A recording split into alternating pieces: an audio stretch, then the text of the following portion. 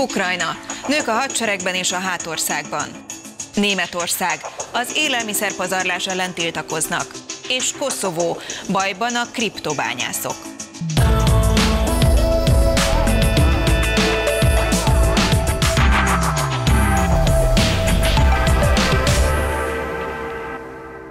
Köszöntöm Önöket, ez itt az Európeo, a Deutsche Welle hírmagazinja. Egyes adatok szerint már a 15%-ot is meghaladja a nők aránya az ukrán hadseregben. Egyre több kép jelenik meg arról, hogy nem csak a harcköteles férfiak vesznek részt a háborúban, hanem sok lány, asszony is védi a hazáját. A nőket háborús időkben több szexuális és családon belüli erőszak éri. Ukrajnában is van védett ház az áldozatok számára, amely jelenleg a háborús menekülteket fogadja, de részt vesznek a hadsereg ellátásában is. A Deutsche Welle stábja egy ilyen védett házban forgatott. Egy kéz, egy tészta. Ezek a nők teljesen hétköznapi életet éltek az orosz invázió előtt. Tanárok voltak vagy informatikusok. Az ő fegyverük a békéért a kenyér. Tudom, milyen éhesnek lenni. Nagyon fontos, hogy adj enni másoknak, még azoknak is, akiket nem ismersz. Mindannyian ukránok vagyunk. A kenyér a katonáknak, férfiaknak és nőknek kell a fronton. Marta Levcsenko vezeti a 30 fős önkéntes csapatot. A kenyér meghittséget, otthont és szeretetet jelent. Valamit, amit megoszthatunk egymással. Ebben a házban most 120 laknak. Eredetileg 80 főre tervezték. Marta 5 éve hozta létre az otthont adományokból, hogy segítse a családon belüli erőszak áldozatait. Az otthon most az ország minden részéről ideérkező menekülteket fogad be, főként nőket és gyerekeket. Marina éppen most érkezett a gyerekeivel Kijevből. Négy napja hagyták el a fővárost. Nagyon féltünk. A gyerekek a pincében vagy a garázsban voltak. Sokat sírunk. Megölik és elpusztítják az országunkat. Ennie kell, bár nincs étvágya. A nővére miatt aggódik, aki még mindig Kijevben van. Az óvóhelye nyugat-ukrajnai Csernyivciben található. Csernyivci még viszonylag biztonságos, de tartanak a legrosszabbtól, ezért időben felkészültek. Amit korábban edzőteremnek használtak, az éjszakára átváltozik óvóhelyé. Kis komfortra mindenkinek szüksége van. Egy másik szobában az önkéntesek ukrán zászlókat varnak. Nagy most erre a kereslet. Csinálnak pólyákat is a katonák sebeinek bekötözésére. A háborús idők rávilágítanak a nők fontosságára, mondja Márta. Azért csináljuk, mert kell. A nők most ugyanazt teszik, mint a férfiak. Ők is a frontvonalban vannak. Harcolnak és meghalnak. Az asszonyok teherautókat vezetnek és lisztet rakodnak. Nem szerettük volna két gyerekkel elhagyni Ukrajnát, mondja. Nem hagyhatja ott sem a férjét, sem a hazáját. És itt lesz rá szükség, ha véget ér a háború. A családon belüli erőszak növekedni fog, mondja akár csak 2014-ben, amikor Kelet-Ukrajnában megkezdődtek a harcok. Az emberek megtanultak gyilkolni és erőszakosnak lenni. Gyakran miután hazatérnek, a kormány nem törődik a rehabilitációjukkal. Így a feleségükön és a gyerekeiken töltik ki a haragjukat.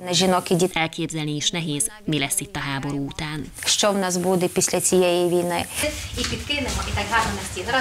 Erről senkinek sincs fogalma de mindenki bízik a békében. A háború egyik legvitatottabb gazdasági kérdése a gázellátás biztosítása. Európa földgázfogyasztásának 40%-át Oroszországtól kapja, melyben talán a legfontosabb útvonal a Jamal vezeték. A Gazprom orosz vállalat azonban december óta nem küld földgázt ezen keresztül, a német gáztározók pedig szinte üresek.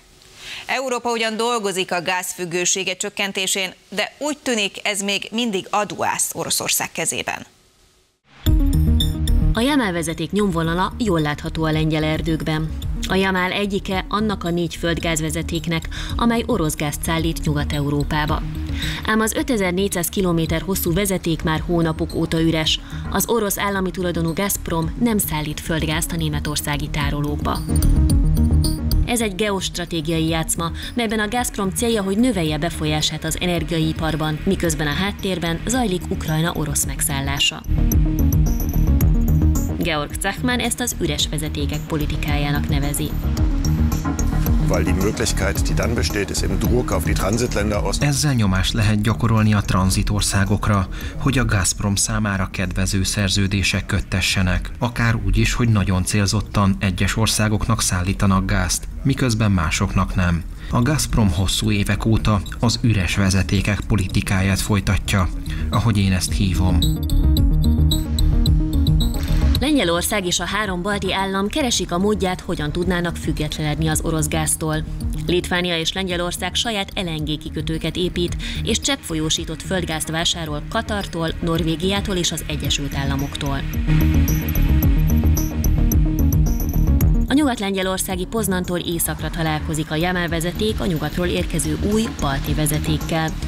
A beruházást Lengyelország kezdeményezte.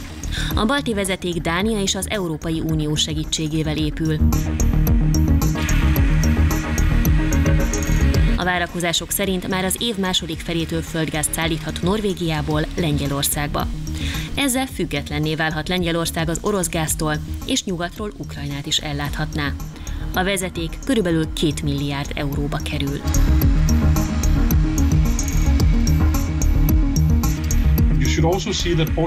A balti vezeték egy párhuzamos projekt az LNG kikötők fejlesztése mellett. A jövőben Lengyelország fő földgázbeszállítói a balti vezetéken keresztül szállíthatják a cseppfolyósított földgázt. Németország és Hollandia már vásárol földgázt Norvégiától. Ehhez csatlakozik most Lengyelország és a többi kelet-európai ország. Ha elkészül a lengyel vezeték, megnő a verseny a norvég gázért. Közben Norvégia nem tervezi a termelés jelentős növelését. Ezt viszont újra kell értékelni, figyelembe véve az európai ellátási helyzetet az orosz export visszaszorulása miatt. A kártyákat épp újraosztják az európai energiapiacon. Az EU és Oroszország közötti teljes vezetékrendszert, beleértve a Jamált is, fokozatosan kiveszik az európai ellátásból. Új tiltakozó mozgalom alakult Németországban, amely egyre többet hallatja a hangját. Az utolsó generáció csoportban elsősorban fiatal klímaaktivisták vannak, akik az élelmiszerpazarlás ellen lépnek fel. Hidakat, utakat, repülőtereket zárnak le, hogy a politikusokat cselekvésre, például törvények megváltoztatására bírják. Áll a forgalom, mert ők feltartják. Az utolsó nemzedék aktivistái lezártak egy autópályát Berlinben. A 20 éves Kárla is a tüntetők közt van. Néhány társa az úttesthez ragasztotta magát. A sofőrök iszonyatosan dühösek.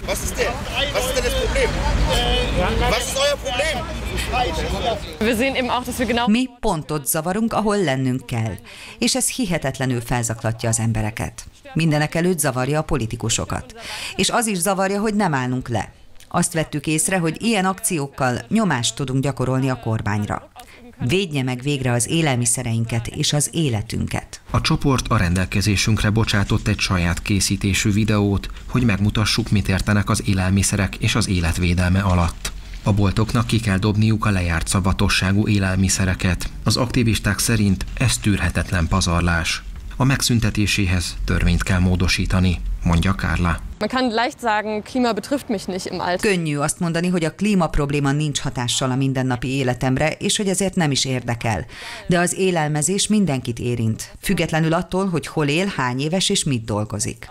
Abszurd, milyen gyorsan leesik az embereknek, miért követeljük, hogy az üzletek ne dobhassák ki az élelmiszerek egyharmadát a kukába. Az utolsó nemzedék meg van győződve arról, hogy a politikára csak radikális módszerekkel lehet hatni. Szerintük a többség egyetért az élelmiszermentő akciókkal, így nem tartják magukat zsarolónak. Az erőszakot, mint tiltakozási formát egyébként is elutasítják. De ettől eltekintve mindenre készek. Also wenn die Bundesregierung wirklich lieber uns ins Gefängnis steckt. Ha a német kormány inkább börtönbe küld minket, ahelyett, hogy elfogadjon egy élelmiszermentő törvényt, akkor én kész vagyok börtönbe menni. Már többször kinyilvánítottuk, és a rendőrségnek is mindig elmondjuk, hogy visszajövünk, nem adjuk fel. Wir kommen wieder, wir gehen jetzt nicht nach Hause. Az utolsó generációnak saját bevallása szerint körülbelül 150 aktív tagja van. Viszonylag kis mozgalom tehát. Nagy zavarkeltési potenciállal. Világszerte virágzik a bitcoinnal és más hasonló kriptovalutákkal való üzletelés. A digitális fizetőeszközöket viszont csak olyan nagy teljesítményű számítógépekkel lehet bányászni, amelyek rengeteg áramot használnak. Koszovóban annyi ilyen kriptobányászatra szakosodott szerverközpont épült ki, hogy az ország elektromos hálózata többször is leállt a túlterhelés miatt. A kormány most betiltotta a kriptobányászatot, a hatóságok pedig sorra számolják fel ezeket a központokat. Csak öt napig tartott az álom a könnyen megszerezhető kriptopénzről. Ennyi idő kellett, hogy a hatóságok megtalálják Raman Fetahut, akit mindenki csak Jamesnek hív. Itt voltak a szervereim, ahol most minden üres. A vámosok elkobozták James számítógépét, mert nem voltak meg a számlái a vásárlásról. A kriptopénz bonyolult matematikai műveletek elvégzése nyomán keletkezik, amihez nagy teljesítményű számítógépek globális hálózata szükséges. Ezen kívül emberek is kellenek, akik üzemeltetik a gépeket. Akár csak James, aki főállásban hang- és videótechnikus. A szerverek jókora plusz jövedelmet biztosítottak volna a számára. Amit a családommal az elmúlt húsz évben félretettünk, azt mind kriptobányászatba fektettem. Nekem patar szűsme, hát te cselmeni business rini pont 3, investem 3. 2022 eleje óta azonban törvény tiltja a kriptobányászatot Koszovóban. A digitális aranyásokat a rendőrség és a vámhivatal is üldözi. Az indok túl sok energiát használnak, ami aztán az ország más részein hiányzik. A betiltás előtt nagyjából 4-5 ezer kriptobányász dolgozott Koszovóban. Virágzott az üzletág, az áram is viszonylag olcsó volt. A szerverüzemeltetők már kisebb rendszerekkel is a havi átlagkereset 4-5-szörösét meg tudták keresni. Mining became like a culture here for young people. A kriptobányászat az itteni fiatalok kultúrájának részévé vált. Európától elszigetelődve vízum és munkanélkül a bányászatban találtak kiutat. Ez azonban komoly probléma a koszovói áramszolgáltató, a KEDS számára. Minden egyes kibányászott digitális érméhez nagy mennyiségű áram kell. A fogyasztás aztán meghaladta a koszovói áramszolgáltató kapacitásait, ami nagy áramszünetekhez vezetett, főleg télen. A kriptovaluta kitermelése súlyos problémákat okozott, mivel általában illegálisan történt. Sok esetben lopták az áramot, úgyhogy nem ott dolgoztak, ahova be vannak jelentve, hanem máshol terhelték le illegálisan a hálózatot. A rendőrség munkáját az áramszolgáltató segíti. Ők pontosan meg tudják mondani, hol kiugróan magas az áramfogyasztás. Azóta egyre gyakoribbak az eredményes házkutatások.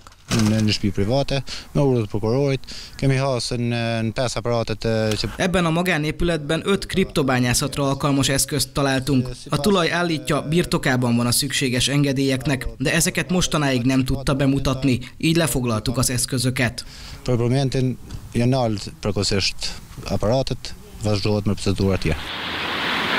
A könnyű pénzkereset kiesése súlyos csapás a digitális aranyásoknak. Stopping that kind of hurt a lot of people and got them angry and mad in a way, and I completely understand them, but Érthetően dühösek emiatt, de összességében azt kell mondanom, hogy az energiaellátásban okozott problémák megoldása fontosabb, mint a kriptobányászat.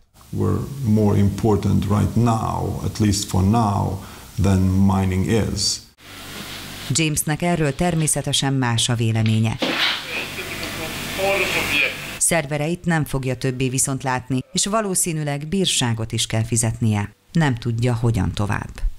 Kjo është ajo pritja jonë shqiptar që Évszázadok óta azt várjuk, hogy holnap jobb lesz. Ehelyett csak romlik a helyzet. Nem tudom, mit csináljak, ötletem sincs. És ami a legrosszabb, kilátásaim sincsenek. Egy biztos, a kriptobányászattól a jövőben távol akarja magát tartani. Új életet kezdene egy másik európai országban, mint sok honfitársa. Aki teheti, elhagyja Koszovót. Ez volt az Európai a Deutsche Welle hírmagazinja.